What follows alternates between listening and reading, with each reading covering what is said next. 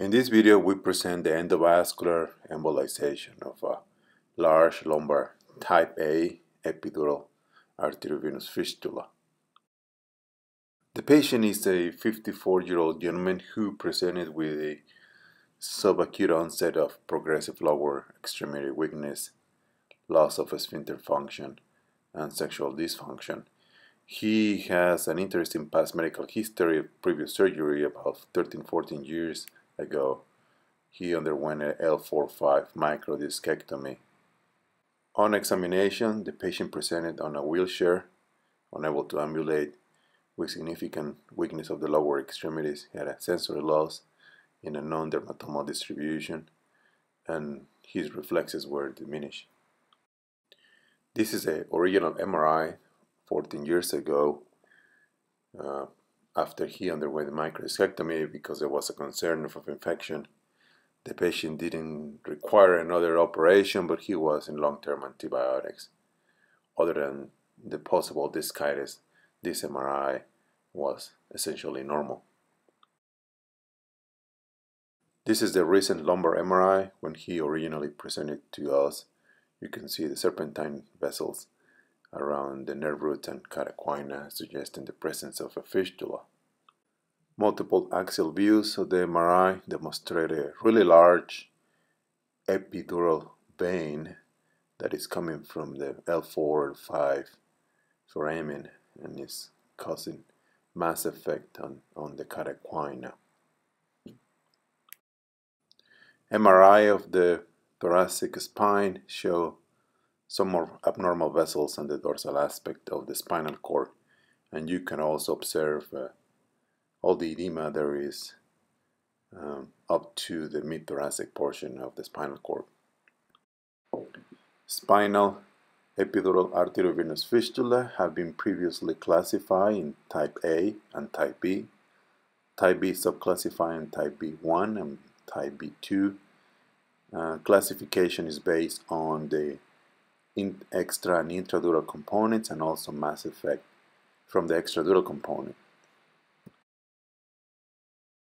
Our current case is a type A because there is a significant mass effect from a very large epidural vein, but also there is serpentine vessels intradurally.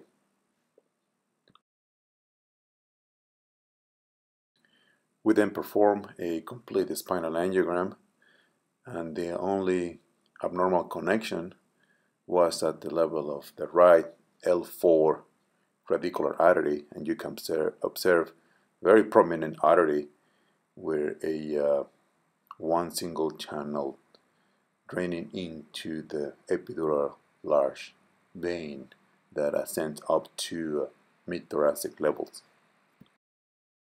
Under conscious sedation, we obtain arterial access First, we tried to get access into the fistula from the right femoral, but because the angle of, of the vessel, uh, we did a better job coming from the left femoral artery.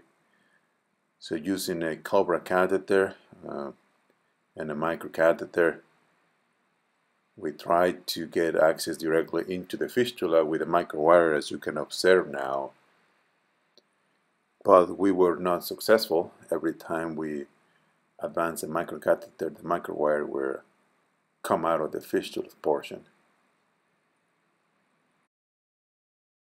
We tried different wire sizes and also different shapes of the tip of the wire, but we were not successful.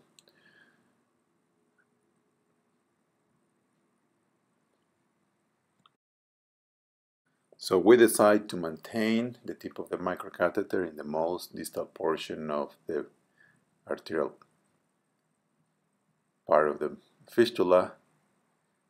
We first uh, proceed with coiling the uh, end of the lumbar artery. By putting multiple coils, we create a cast. And this is uh, after several coils. This is the very last coils. Uh, before we inject onyx we wanted to have a cast for the onyx to stay here is the final coil cast and we were really careful of on maintaining the tip of the microcatheter really distal on the arterial portion of the fistula. Then we proceed injecting Onyx 18.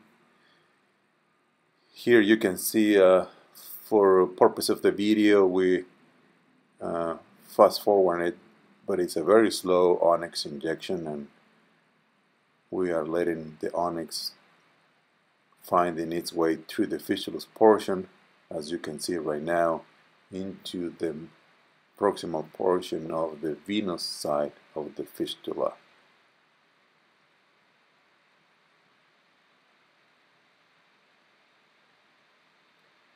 We then wait another 30 seconds before we proceed with a second injection of onyx material. Here you can see on the left side of the coil mass where, where the onyx is going.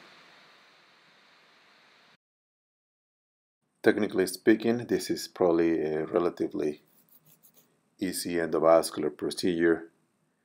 Probably the hardest part of the case was to find the exact abnormal connection between artery and vein.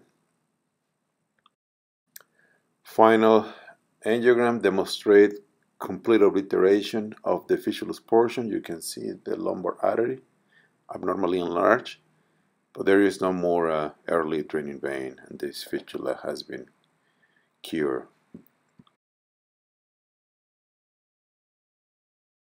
And this is the final result. This fistula is probably a consequence of the previous lumbar microdiscectomy and infection.